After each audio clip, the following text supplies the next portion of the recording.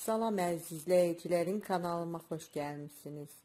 Bugünkü videomda xəmiri mayalamadan pirajki dadında kartoflu qəlyanaltı hazırlamışam və bunun hazırlanmasını sizinlə paylaşıram. Bunun üçün əvvəlcə kartofu bişirirəm. 4 ədəd qabığını soyduğum kartofun üstünə çıxana qədər su əlavə edib qaza qoyub bişirirəm. Kartoflar gördüyünüz kimi artıq qaynayır.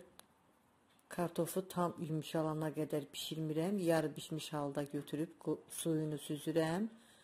Qoyuram qalır, soğuyur.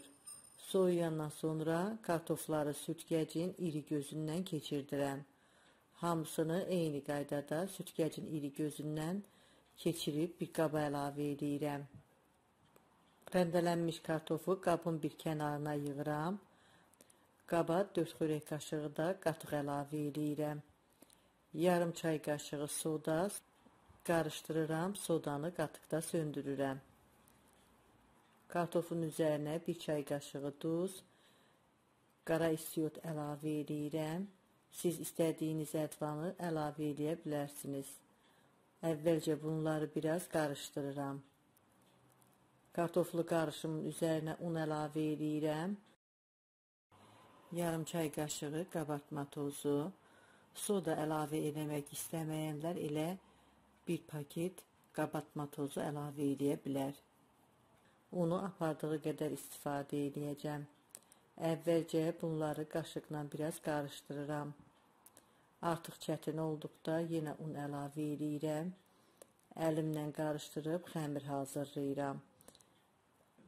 Xəmir üçün 2 stəkan yarım un istifadə elədim. Stəkan ölçüsü 200 millidir. Ələ yapışan bir xəmir alınır.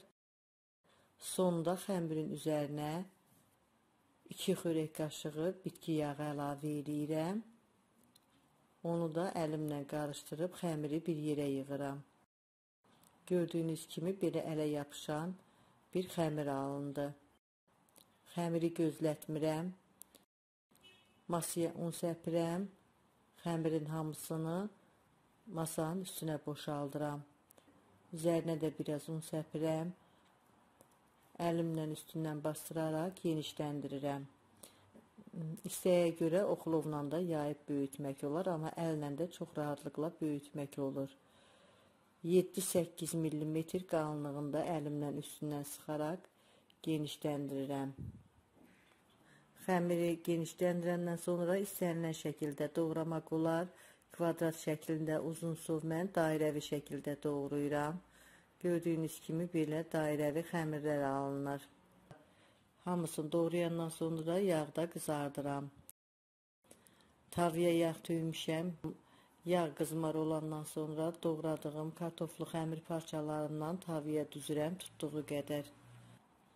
Qazın orta xodunda bişirmək lazımdır ki, tez qızarıb içi çiğ qalmasın. Ərzaqların ölçülərini videomun açıqlama bölümündə qeyd etmişəm.